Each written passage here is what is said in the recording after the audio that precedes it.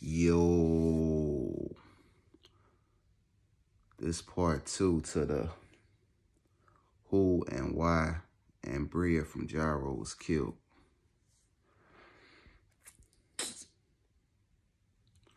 So Ambria, if y'all didn't know she was from Jaro, she got hit 12 times in the chest, dropped off in the alley on Everhart. This is like three years ago, like right after Crump died. Right after Crump died. So Ambria, the night Crump got killed and Melly got shot at that at the party, the first party, she was in the court. She's the reason, like, she dropped the low, basically. If you didn't know. Yes, she dropped that low. I'm not to tell you who she was with, but Ambria was playing both sides, basically.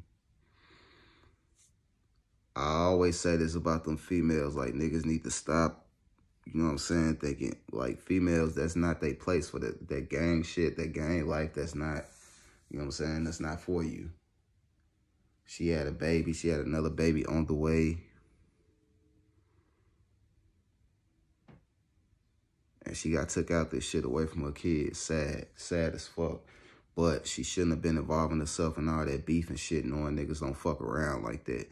You got two different sets that you fuck with that hate each other right now. And you thinking that shit cool. Like, even if the motherfucker that killed you didn't kill you, your own set was fuck around. Jaro was gonna fuck around and kill her ass because she was doing way too much. But that was Melly who did that. Okay, 051 Melly killed Ambria. Why he killed her is simple.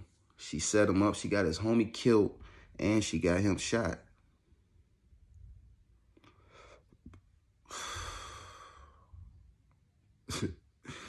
Man, Bria was fucking with THL. I, um, I might as well say it, they gone anyway. Okay, so she basically backdoor. Like they came there for Mel. It was for Melly. But they wind up hitting Crump and like it was just a plus up. Like fuck it, we'll take that. But they was trying to kill Melly. Soon as they posted that pic picture, Melly posted that picture on the ground. Nah, Melly didn't post it. Crump posted it. Big mistake. He posted that picture on the ground. They knew the drop. They knew the party it was at. The party was in Jaro Hood. She made some calls. They linked up. Went and got her. And they slid past. And they was outside. Now, this is the whole bit. How did they know they was just standing outside? And they was standing outside. It probably was like four people out there. But them two, they was right there on the sidewalk. On the sidewalk, like the grass part, like though. But like right behind where the sidewalk, if you, they was on the sidewalk basically. So, but how did they know they was right there when they slid down the street though? That's the question. So it was somebody else. It wasn't just her. It was somebody else at that party who was giving up information and loads of shit. This shit get deep. I might have to make a part three. But uh, yeah. So that's the reason why Ambria got hit 12 times in the chest. Like the witness said, they heard somebody arguing in the alley. Told somebody get told he told her to get out the car. He got out and hit her ass 12 times. He was trying to make sure she was dead. And she couldn't talk to tell who did it. But the streets talking, they already knew who did it. Hence why Melly got hit. So all this shit revolving around the female though, that whole little situation. So y'all in them streets, it's best to keep your female out your situation. Don't let her know what you doing. Don't let her know what you did. Nigga, that's niggas main downfall. They always want to talk and, and, gloat on what they did. For when you do something, when you put the, the, the murder game down on the nigga, like, you're not supposed to tell nobody. You best do it by yourself and don't never say shit. I don't give a fuck your own game. Don't say shit. You ain't gonna do shit but put a target on your back and don't act like be pump faking. A lot of niggas got killed for pump faking like they done took a motherfucker body. So motherfuckers just gotta know their position, know how to play their role. You niggas wanna be soldiers in the field, but y'all don't know how to, you know what I'm saying? Like, it, it, it shit different out here, man.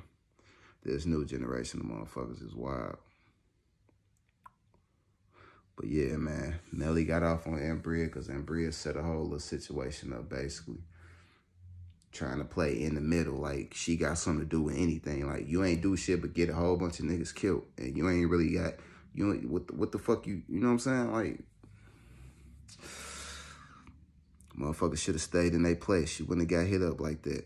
He fucked up too. Melly was a demon.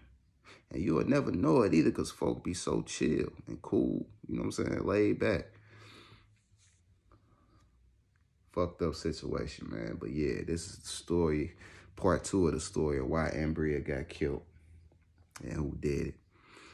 Jump in that comment box. Let me know who y'all think she was working with though, like outside of THF. It was some it was another Jaro member at that party she was talking to, but let me know who y'all think it is.